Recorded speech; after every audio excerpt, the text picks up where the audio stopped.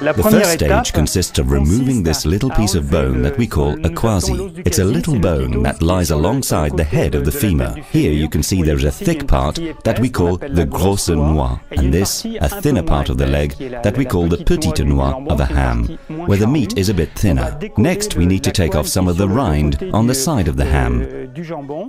You really must use a proper ham knife.